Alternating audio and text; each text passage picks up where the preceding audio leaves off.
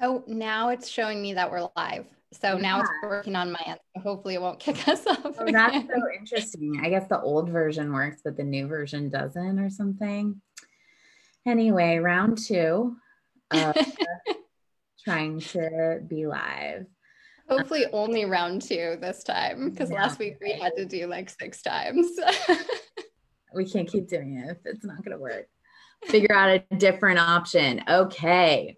Facebook so, and Zoom, we are requesting you solve yeah. this problem. help Please help us.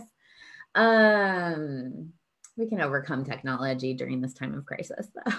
Totally. anyway, so what we were talking about in our video before, in our first part, was like how, like, a lot of times what we're seeing now is either total alarm, everything's terrible, or like kind of what often feels like a fake positivity pressure to be positive at least like pressure to encounter this in a positive way. And like that's not to say positive feelings don't feel good but when we're resisting negative feelings that come up it really can turn into way more crisis i think way more alarm because our brains are like, that's not true. That's not true. That positive thing isn't true. Let me show you all of the alarm you need to have and just reinforces it.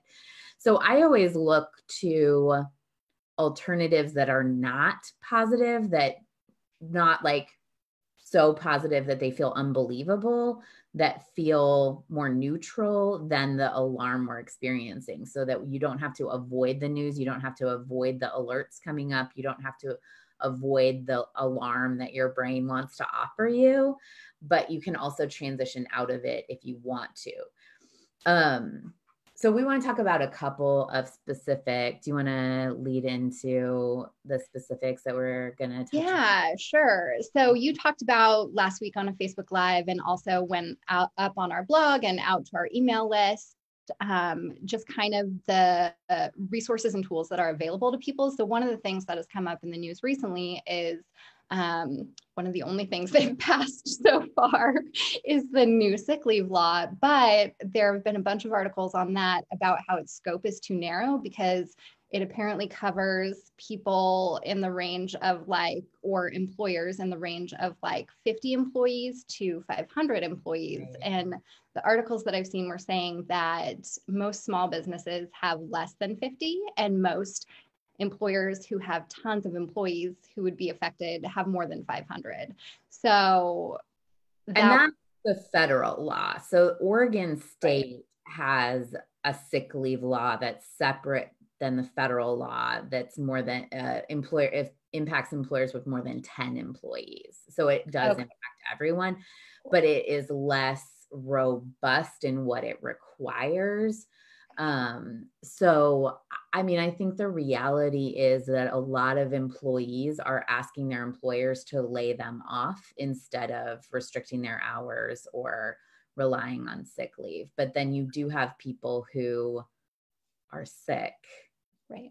And so need benefits, need like health insurance benefits. And if you get laid off, there's some issue of whether that transitions you out of health insurance benefits. But I think that this law does also have some requirements about health insurance benefits being in place. And so there's some uh, and I think that there have been a couple other things at least proposed that would continue health insurance benefits for. Yeah, yeah. I know a bunch of the stuff that they're working on addresses more of that kind of nitty gritty yeah. stuff. So, I mean, the reality that uh, we were looking at the, it was a Washington Post, I think, article yeah. that we can link to, but it was talking about how frontline workers who are providing child care, who are like uh, medical assistants, who are gas station attendants, who are working in grocery stores are so likely to get impacted by the virus. And really, the protections that we've set up for these very vulnerable people are not enough to really get them through this crisis safely. And so then I think the the thing that happens is if you're a person who works at a grocery store, if you're a um, person who does childcare for a living. I've I've even had some service providers who I typically use reach out to me and say, "I'm really worried about my business, but I can't safely keep providing this service or keep offering this service. I can't guarantee that it won't spread the virus."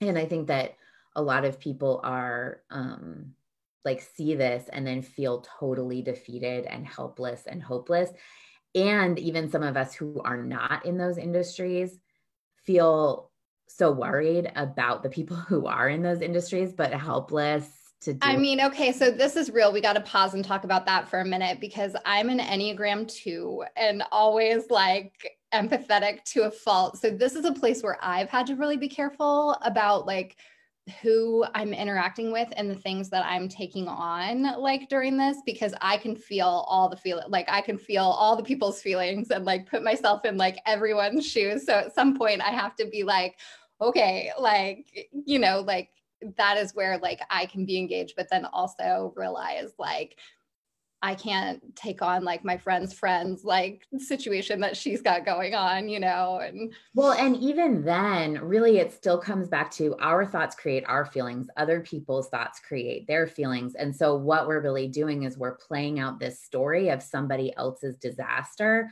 but then we're the ones that are living with that. And the reality of that is when we're playing out the and I'm not saying ignore other people's problems or don't be compassionate but compassion is very different than creating a disaster for ourselves in our minds because what ends up happening is then we disconnect. We're not even willing to hear other people's stories mm-hmm. because our brains are creating so much internal trauma related to their stories, right? We think I can't be on Facebook anymore. I can't watch the news anymore because I am playing out these disaster stories in my mind and then feeling defeated and hopeless and terrible, right? Yeah. And so I think like the solution is not disconnecting, the solution is not uh bootstrap like expecting people to bootstrap or being like oh, they should just get through it. They'll get through it fine and everything will be okay. Like, not fake positivity. But I think if we can really pause in that moment and really let ourselves feel however we're feeling, not blaming it on somebody else and saying, okay, their health insurance is creating my hopelessness, right? But then really being like, I do feel hopeless right now. Like, I am strong enough to feel the feeling of hopelessness. I'm strong enough to uh, like have this feeling come up. And then what I do when I have that happen is I like like a lot of times we don't want to feel negative feelings because we think that if we if we let those feelings happen then we'll get stuck in them for forever but mm-hmm. really what happens is when we resist those feelings when we don't let them process, then we get stuck in them because we're like negotiating with them. And really, feelings are just a release of chemicals from our brain into our body, right? Like there's nothing wrong. And it does like chemically process, but then our response to it makes a difference in how that processes. So, what I do is I say, okay, I'm feeling hopeless. How does it feel? And I get curious about the actual physical sensation of the emotion that's happening for me let myself have it and then it does pass like notice that it does pass but actually like be present with myself and let the feeling happen and know that there's not like like feelings are basically the worst thing that can happen to us and also most of them are not as painful as a paper cut. So like they're okay to have and then like like because i think that what we try to do then is we try to fix the feeling by trying to make other people change their feelings first. And it just is like the longest way around to changing the feelings.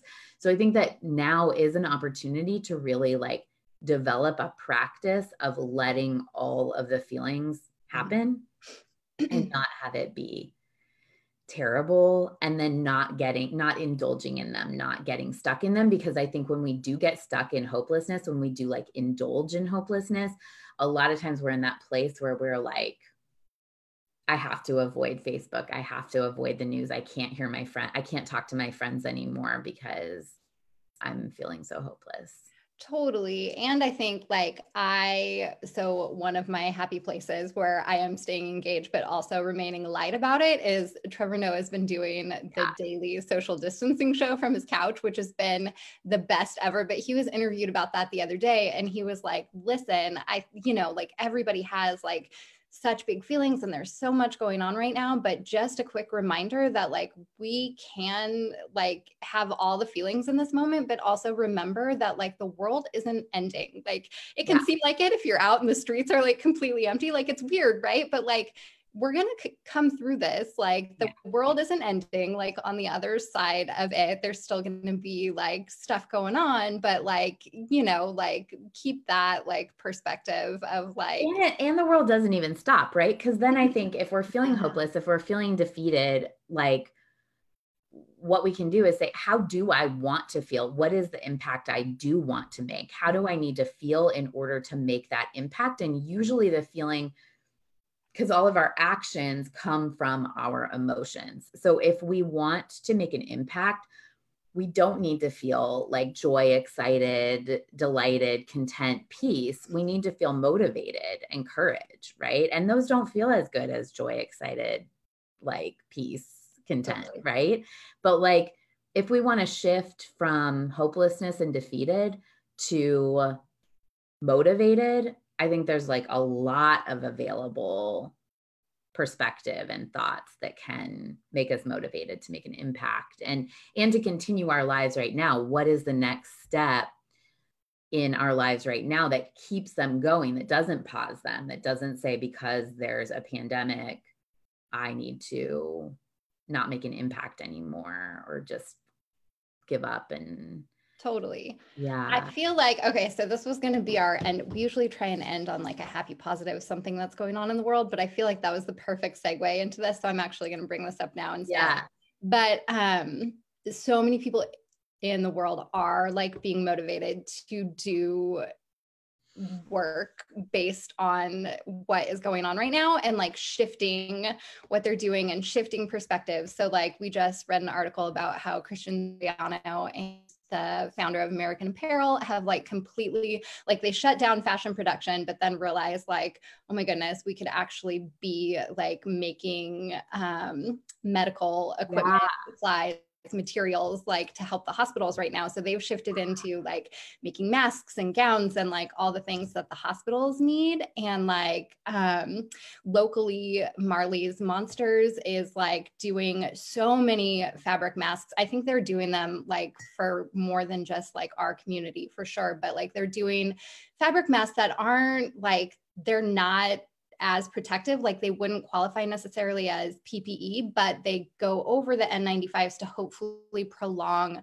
the life and the usefulness of them because there is such a shortage. So, so helpful. And like people in communities like all across everywhere are like you know sewing and doing what they can like getting so creative like there has been a shortage of elastic so people are like cutting like hair bands in half and like just yeah. doing what they can to help and then like i read that um, gm retrofitted their manufacturing stopped like manufacturing cars retrofitted their manufacturing to try and like create ventilators for hospitals and um, scientists in italy like figured out how to turn scuba gear into ventilators and like doctors i think in california figured out how to turn one ventilator into i think they said like nine um, so yeah. people are just like taking the skills that they have exactly moving that like yeah. i feel so hopeless and defeated but like motivated to do something to help and change and like coming up with all these like crazy great things that actually are super useful and helpful right now and it doesn't force you to be like don't feel hopeless don't feel defeat it just transitions it to something that is also potentially available in in what we're doing. Like when i have a lot of my clients will come to us and they'll say i'm just so overwhelmed and confused i don't know what to do next i um, don't have enough money i don't have enough this or that there's not enough and um, i'm so overwhelmed with not being able to do anything. I don't know what to do. And the thing that I always notice is the thought, I don't know what to do, is always a choice. And if you just ask yourself, what if I did know what to do? What I have my clients do is just be curious. What if I did know what to do? What would my guess be? And I'm not judging any of the options. And then make a list of a hundred things that you can do. I sometimes I let them start with 25. But the thing I notice is they can within like 15 minutes, I have never had somebody not be able to make a list of 25 ways that they can get money, things that they can do to contribute uh, like if you just ask your brain, what if I did know what to do? Then that can pull you out of the overwhelm confusion place that I think a lot of people feel like they're in right now. And then that's how you get to the point of like, oh, I have a bunch of fabric and I can make totally masks. Yeah. Like, what if I could just make masks? What is the need right now? What do people need right, right now? I think that there's more need than almost any time that we've been here on earth. I agree. And I think that is something like that is why it's worth like feeling your feelings and asking these questions now, right? Because that is something that is not going to go away anytime soon. Yeah. Like we are going to get through this, we are going to come out of it. But even on the other side, there's still going to be like an, an incredible amount of me- need in ways that we haven't seen before, like in our lifetimes. So, yeah. yeah. Yeah. So I think that like they're sort of showing us it's always possible to transition what you're doing to meet that need, to be available, to contribute and make an impact. I think that for all of us is possible. And I see a lot of people sort of believe that they have to stay in overwhelm or they have to stay in confusion because of their socioeconomic status, because of their family, because of all these reasons. And I just always suggest that it's possible to transition to motivated to courage to something that is going to help you take some kind of action. Yeah. Yeah. That's good. Yeah. Um okay, so another thing that is being done, I know, is a lot of um, domestic violence hotlines and resources are kind of ramping up what they yeah. can on like the virtual side of things as far as sorry. Hi, Emma. Working from home. Yeah. All the time anyway. um yeah.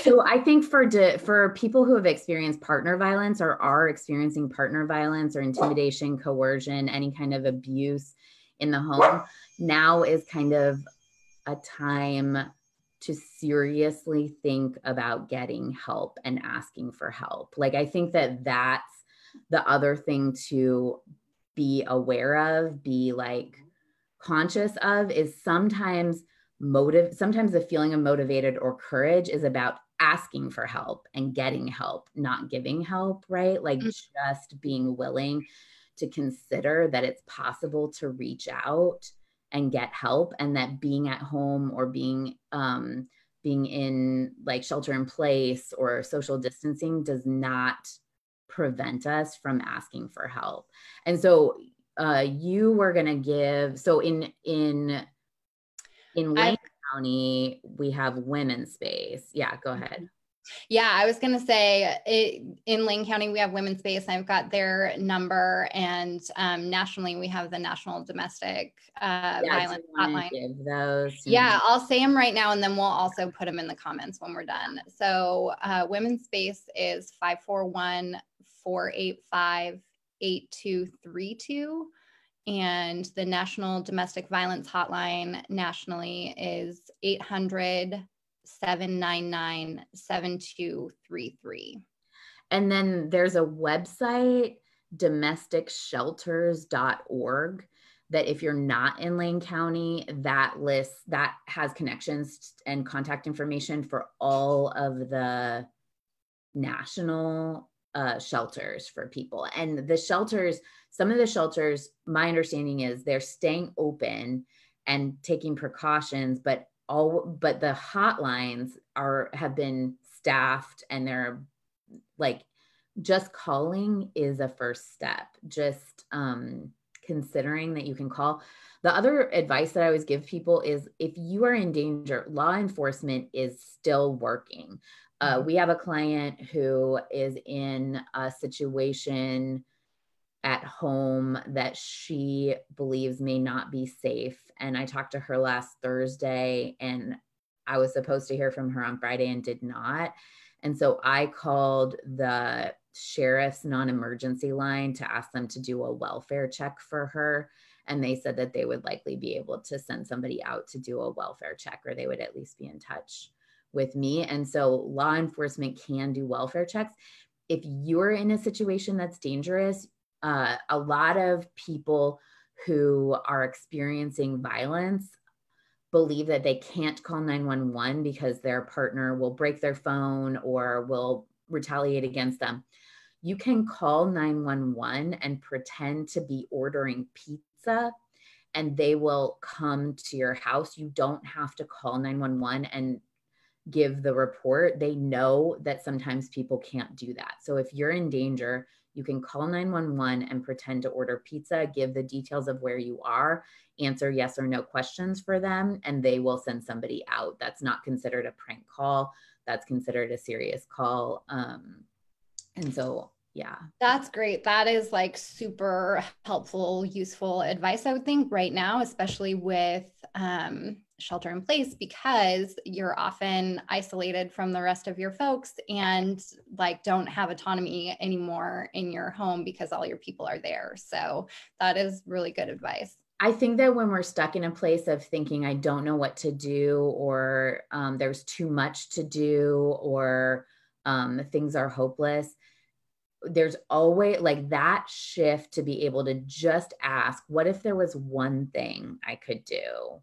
What if what if I could imagine I knew what I could do? It can get you to that one next step you need to take to be safer, to be um, healthier while mm-hmm. we are sort of while we're shelter in place right? And check in on your friends. I think that like goes without saying because a lot of times we don't even know who might be in a situation like that. So don't like check in on them with the intention of being like oh i think you're in an unsafe space but check in on them just with the intention of like checking in on people. And i think so i tried to contact our client who i had the concerns about a number of times and um i ultimately thought why not ask the place to do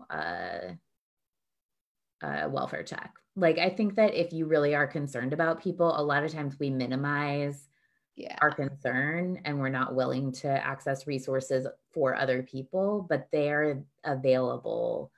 Um, if you have somebody that you're concerned about, you can also call the shelter line, the the partner violence hotlines, and ask questions about how you can help, um, and they'll help you with that.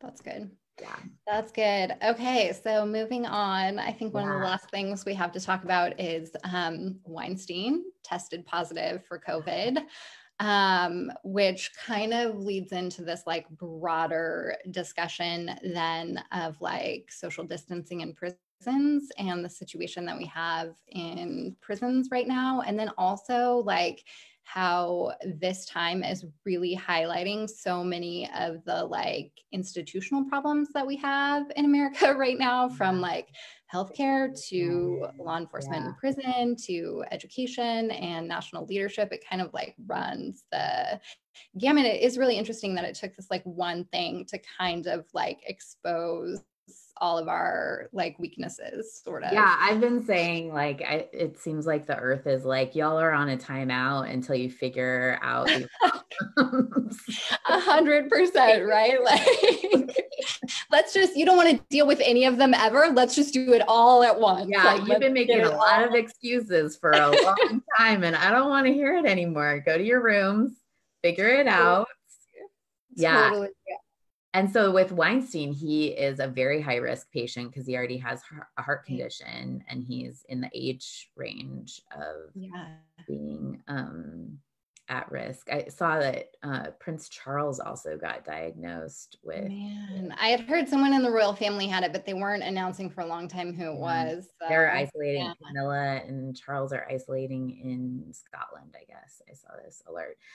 So, I mean, I think that with Weinstein, there's that um, karmic question. But then also, the thing that it raised is that I guess Rikers Island uh, prison is now they have 38 confirmed cases and not enough medical supplies, and they're still shipping prisoners into Rikers Island and out of, which is going to create a ton of cross contamination. Totally. And so the article on that was saying that there was a man who I mm-hmm. think was a low, lower risk, like his crime wasn't as severe, mm-hmm. lower risk inmate, but he was, has asthma and there's yeah. all these cases there and it's spreading like wildfire and they're transferring him in anyways, which some of the people in the article were like, okay, like we got to stop and like check our humanity for a second. Like, yeah. how do we feel about that? Because you're essentially like,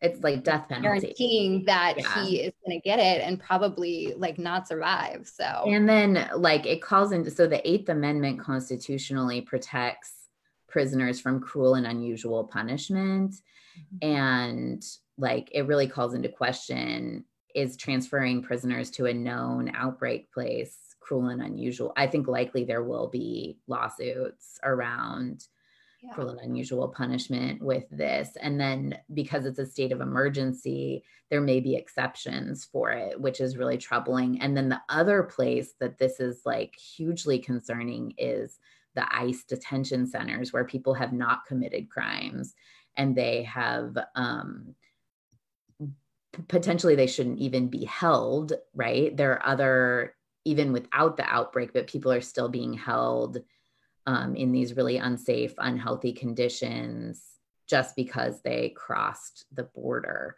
And so the ACLU filed a lawsuit uh, asking for immediate release of those prisoners. And I think there's a lot of concern, like, there are a number of groups um, who are working to help people detained by ICE but it calls into question the whole systemic who do we imprison and why and like why. you yeah. know i mean a bunch of people that i've seen are mm-hmm. like mm-hmm. freaking out completely livid that they're releasing people but it's like half of these people have like minor drug offenses you know right. like they are in if they're if they're in prison for having uh, some like amount of marijuana that is actually legal in most states. And then they they contract coronavirus because like do we think that that is the fair punishment because they're just being held or transferred to right. an unsafe place? I think again people are like automatically going to this fear place of like oh my gosh they're letting the prisoners out. Like you know they're letting like the worst of the worst out which is not the situation but in some way shape or form like just like with education, our teachers are so taxed, just like with healthcare, our system is so taxed. Same thing with prisons, like so many of them are so taxed. They have like not enough personnel so much overcrowding that like something like this happens and we can't like maintain like status quo because it's just not possible. And and it's not the right it's not like the like we talk about the punishment fitting the crime. Right. Yeah. Like not yeah the punishment that fits the crime. But then i think that that can contribute to that alarm that we talked about. Like uh like it's we i i don't know. My brain runs this scene of zombie apocalypse like uh people running the streets breaking glass and then zombies attack you know like my totally. brain runs a full on zombie apocalypse scenario when when it wants to offer me some alarm. And like we go out on walks every morning and everybody's being very careful on the paths to walk into the grass and stay away from each other. But then on some level i i'll be out and there will be nobody around and i'll think somebody's coming. this is what my brain shares. It's very my brain's super helpful when it wants. Yeah, yeah, yeah. Um, well, Levi and I watched World War Z yeah. the other night. So, and we were both like the whole time. It was so funny. Like about halfway through the movie, I was like, "Oh my gosh, my arms hurt so bad," because I realized we were both just like this. Yeah. You know? so tense and like gripping. I mean, and the truth is, we're not having a zombie apocalypse. No, like, that is no. not happening. People are responding appropriately and taking care of themselves. And we have a lot of neighbors who need help and who need support. And I think that, like, now is just the time when we're with our brains without distraction more than we usually are, right? Like normally we have all these distractions to not think about the prison system, to not think about ICE detention, to not think about healthcare problems, to not think about like problems with our education system. And now we're just with our brains by ourselves, most of us, or with our families, which is like being with other versions of our own brain. right. And then how do we deal with that, right? How do we treat ourselves with compassion and then still take action to make the impact that we want? We can still call our representatives while we're at home mm. isolating, mm-hmm. right? We can still ask how we can volunteer if we want to volunteer for a cause that we care about while we're at home while we're isolating right. so much of the impact that we can make can be we can still check in on our friends who we think might be at risk while we're at home, while we're isolating, right? There's so many things that we can still do. And then still come back to being with ourselves, letting ourselves have that zombie apocalypse movie mm-hmm. moment, and know that like our brains are really good at saving our lives. Like they offer us this alarm because if we were being chased by a zombie, we would want our brains to be like alert, alert, run right? And that's all is they're they're just doing what they're programmed to do to say alert something terrible has happened. Run jump up a tree like climb a tree right now. Right. and it's just not what we need to do. It's not the appropriate response right now. So then what is like what is going to make the impact that we want to make to really mm-hmm. solve these problems? I always have this belief that I, I, was saying this actually to a client. So it's interesting the environmental impact that the virus has had, like of cleaning up the environment. But I always have this belief that there's somebody out there who has the solution to climate change in their brain. And all they need to do is just change their thinking a little bit and feel a little bit motivated, feel a little bit of courage, and they're going to have the easy solution to climate change and just offer it to us. And it's not going to be hard work or terrible. Like there's somebody out there who has the solution to prison reform, to ICE detention. And like now is the time for us to like get creative and find the solutions and feel the feelings. Totally, totally. Yeah. And I think even just like on a personal level, like it is so interesting. It's funny that you talk about it like being the earth's way of like giving us a timeout you know? But i feel like i feel like that even in our personal lives because for me i know that for like the last like two or three years at least i've been like oh my gosh i'm so exhausted. Like i'm so like so busy. Like we're so busy all the time. We have all of these things going on you know? And like even though it was crazy like how quickly it happened and like getting used to this new rhythm and this like new way of doing life like one thing i'm not sad about at all is all of the things that got dropped off my plate like instantaneously. And then realizing like the things that i actually like care about and like are super important to me like are the ones that i'm like really missing which is not very many by the way and like everything else is which is so like, interesting because you always could have chosen that, right? A hundred percent. But I was never going to. You know what I mean? Ah. Like, I mean, I was getting better at it, being like, I can't sustain this pace. Like, this is crazy. Like, this is not working for me. And I was getting better at it. But like, this really has been like, okay, like this is where my heart is. Like this is what's important. Like these are the things that I like clearly care about because these are the ones that I'm really missing right now. And everything else, I just feel like, oh, thank goodness I don't have to do that thing. And then know? how do you let yourself have those things now? I think is the other key. Mm-hmm. Like, how do we get creative enough to let ourselves still have those things that are our passions, that are what we want? And the thing I always think about is like, us, Beyonce, like uh Prince Charles, like uh I don't know, all of us are doing one thing at a time. Mm-hmm. And is the thing we're doing sitting and feeling overwhelmed and confused, or is the thing that we're doing one thing to take action, right? Like there's always the opportunity to just do one thing. And I think we get so focused on that big, like, picture of the problem, right? The big picture of the prison problem, the big picture of the ICE detention problem, all of it. And when we're stuck there, we're usually just sitting in overwhelm. Mm-hmm. and then if we can just ask, like, what's one thing I can do? There's always something that feels better and that feels productive and like um, even just giving ourselves permission to think me watching World War Z with my husband is the best thing right now. This is the impact that I want to make. Me taking the puppy for a walk. This is how I restore my energy and how I make sure I can contribute. It is productive. Just having that belief that the next thing that we're doing, whether it's resting or or mm-hmm. refilling or taking action, is productive. It is making an impact. Like I think that frees us up to make the impact that we want to make. Yeah, that's good. Yeah. That's good. Well, I think we hit all of our topics.